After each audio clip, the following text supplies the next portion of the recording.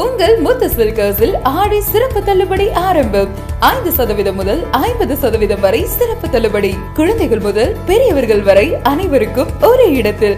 Muthu house Raja theatre signal அருகில் நேரு வீதி பாண்டிச்சேரி. புதுச்சேரி பாண்டி மெரினாவில் பராமரிக்கப்படாமல் ஒட்டகம் சாகடிக்கப்பட்டதாக எழுந்த புகாரை தொடர்ந்து பரிசோதனை செய்ய தோண்டி எடுக்கப்பட்ட நிலையில் பரிசோதனை செய்யாமலேயே உடல் மீண்டும் புதைக்கப்பட்டது. புதுச்சேரி பாண்டிமெரினாவில் பொதுமக்களை மகிழ்விக்கும் விதமாக ஒட்டக சவாரி குதிரை சவாரி உள்ளிட்டவை நடைபெற்று வந்தன.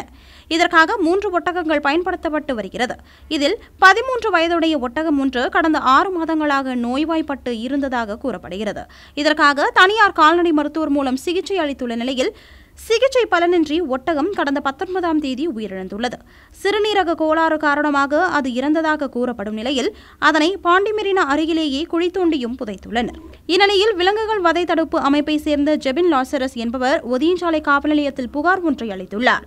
அதில் தனியார் நிறுவனத்தினர் ஒட்டகத்தை சரிவர பராமரிக்காமல் சாகடித்து விட்டதாகவும் அதன் மீது நடவடிக்கை எடுக்க வேண்டும் என்றும் புகார் அளித்தார். இதனைத் தொடர்ந்து ஒட்டகத்தின் உடலை தோண்டி எடுத்து பிரேத பரிசோதனை செய்ய முடிவு செய்யப்பட்டது. தொடர்ந்து புதுச்சேரி தாசில்தார் பிருத்வி நகராட்சி சுகாதார அதிகாரி பிரீத்தி ஆய்வாளர் செந்தில்குமார் ஆகியோர் முன்னிலையில் ஒட்டகம் புதைக்கப்பட்ட இடத்தில் பொக்லின் எந்திரம் மூலம் தோண்டப்பட்டது. பின்னர் தனியார் மருத்துவர் ஒருவர் மூலம் பிரேத பரிசோதனை செய்ய முடிவு செய்யப்பட்டு இந்த பணிகள் நடைபெற்றன.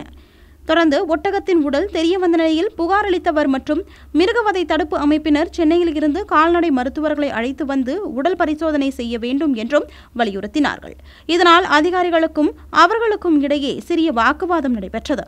முடிவில் புதுச்சேரி அரசு கால்நடை மருத்துவர்களை கொண்டு ஜூலை இருபத்தி ஏழாம் தேதி உடல் பரிசோதனை செய்ய முடிவு செய்யப்பட்டது. இதனால் மீண்டும் ஒட்டகம் புதைக்கப்பட்ட குழியில் மணல் போட்டு மூடப்பட்டது. இந்த சம்பவத்தால் அங்கும் பெருபரபரப்பு ஏற்பட்டது. புதுச்சேரி உங்கள் ஏஎம்என் டிவி செய்திகளை யூடியூபில் உடனுக்குடன் காண ஏஎம்என் டிவி பாண்டிச்சேரி சேனலை சப்ஸ்கிரைப் செய்யுங்கள். பெல் பட்டனை மறக்காமல் கிளிக் செய்யுங்கள்.